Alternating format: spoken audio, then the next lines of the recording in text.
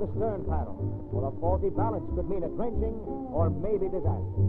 Or, like any primitive sport, there is ever present that tingling element of danger. Here in Hawaii, the sports of the people reflect their temperament. Simple, direct, and unencumbered by the frills and fripperies of more civilized contests. A sport like body surfing requires no equipment save a sturdy swimming stroke and a speaking acquaintance with love. Regulation sport has no more boundaries than the ocean. It's man against the sea.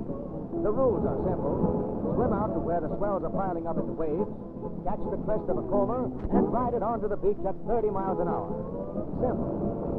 Let the swimmer get into the trough of the waves, ahead of the crest, and tons of breaking water are liable to crash down on his head and pound him under. Here is no sport for the swimming pool athlete. There's only skill between a thrill and a slightly broken neck. Probably best known of all wave riding sports is surfboarding. The gentle art of striding a streamlined ironing board while a breaker pushes you from the bay to the beach in nothing flat. The boards are carved from a solid slab of wood or built up of laminated strips and vary in weight from 50 to 100 pounds. Here is a sport that is typically Hawaiian, and the Malihini, or newcomer, is usually as familiar with the picture of this island pastime as he is with the hula. But it's by no means as simple as it looks on the travel poster. The first thing to do is to paddle out and find an incoming wave, a gentle swell that looks like it is gathering up enough steam to be a big breaker. There are four waves which carry the rider to the shore, and the transfer from the first to each of the three succeeding waves is made without slackening speed and with the board at an almost horizontal angle. When the board is in the proper riding position, on the slope of the wave just ahead of the crest, the surf buster assumes his stance. He is well back on the board, up tilting the bow so as to present as little surface as possible to the water. This allows him to plane forward with a minimum of friction or drag. Using the feet as a rudder and shifting the weight of the body keeps the proper direction and balance and prevents the surfboarder from doing a back one and a half into the drink.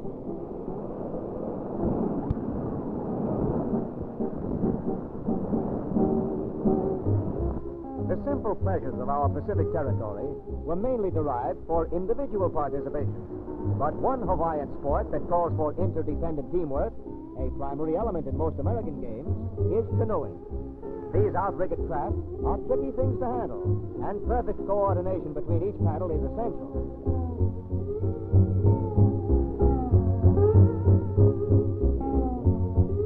The boats themselves are of the traditional native design, built for swift passage in boiling surf. To select the proper wood, cure it, and fashion it by hand into a seaworthy piece of sporting equipment may take as long as 10 years. A paddle out of cadence or a sudden shift of balance, and the canoe would be smashed to mahogany flinders on the relentless coral. So caution is the question, and teamwork is the answer.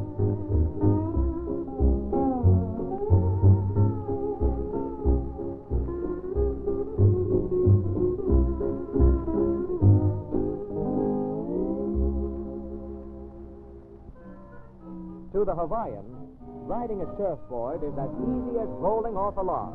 So the novice learns just that way. Sliding the board across a log spindle simulates any motion of the surf and demands a steady equilibrium from this cute Keiki Wahine to keep from landing flat on her Mahopilani.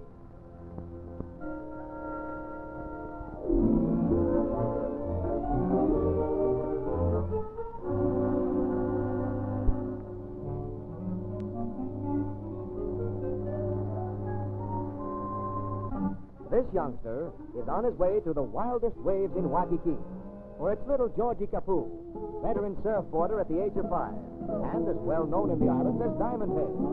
The preliminary paddling may look easy, but even that takes a strong back and plenty of practice. There's not much of them, but a little can go a long way on a surfboard.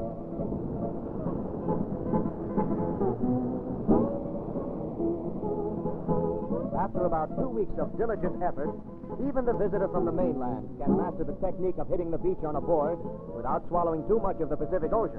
But this tandem trip calls for the utmost in skill and counterpoise.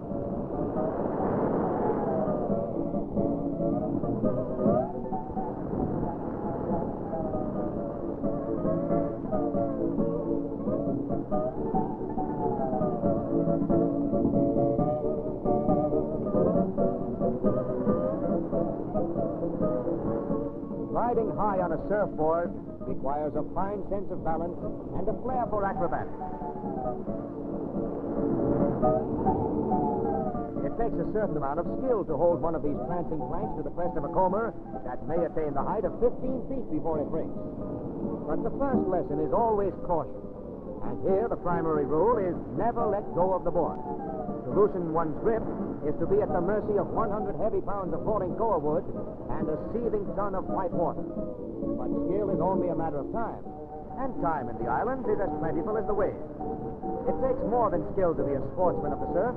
It takes blood that tingles at the thunder of a rolling feather of foam, at the warm, subtle caress of the tropic sun, and the champagne taste of the wind-drifted spray. But the only talent that's really essential to any sport in Hawaii is an infinite capacity for enjoying oneself. That is the inspiration that sends these people out to where the breakers are born.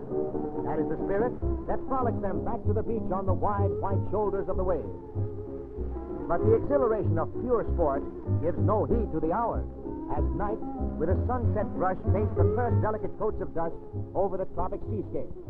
So long as there is a surf on the island, there will be sport. So long as there are winds that ruffle the southern seas into combers to wash the pearly margin of Waikiki Beach, there will be sportsmen to rise the crest.